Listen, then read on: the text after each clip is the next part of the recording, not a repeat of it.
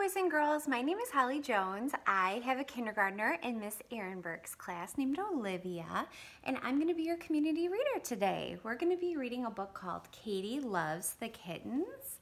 This book has one person who's both the illustrator, so he drew the pictures, and the author, so he wrote all the words too. And his name is John Himmelman.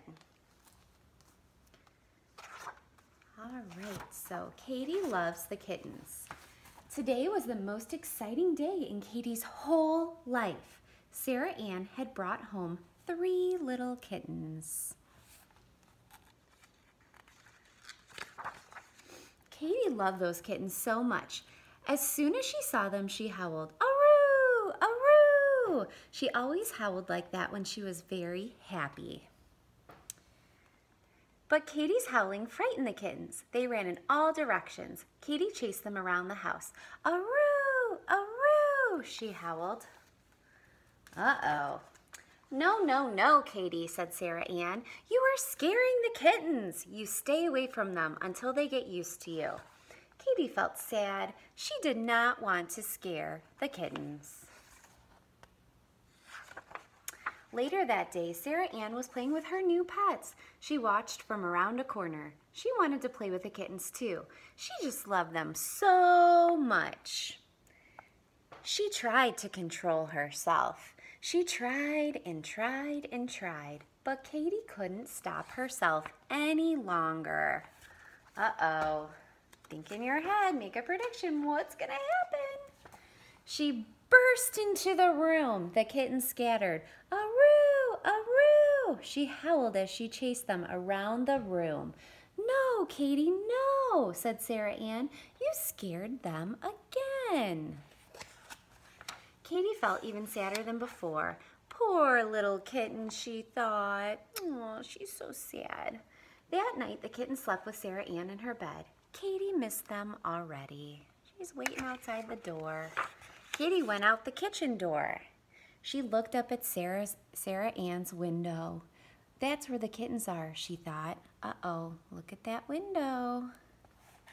Hmm, what will she do?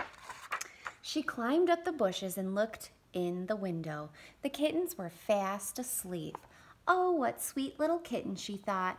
I would love to smell them. She sniffed so hard or she sniffed as hard as she could, but they were too far away. She climbed onto the windowsill. She quietly slid under the window and leapt onto the bed. The kittens went flying into the air. Katie was so excited. Aroo, aroo! She howled. Uh-oh, look at her face there. Sarah Ann picked up the dog. Katie, what am I going to do with you? Don't you like these kittens? Katie felt very, very sad. In the morning, Katie walked into the kitchen. Three bowls of foods waited for her. She ate the first bowl. Mmm, this is good, she thought. She ate the second bowl. Yummy, yummy, yummy, yum, she thought. Look at her, she looks hungry. When she was halfway through the last bowl, Sarah Ann walked in. Oh, Katie, you ate the kitten's food, she said.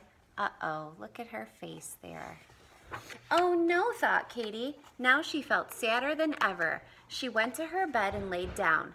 I love those little kittens so much, she thought, and all I do is scare them and eat their food. Katie stayed in her bed all day.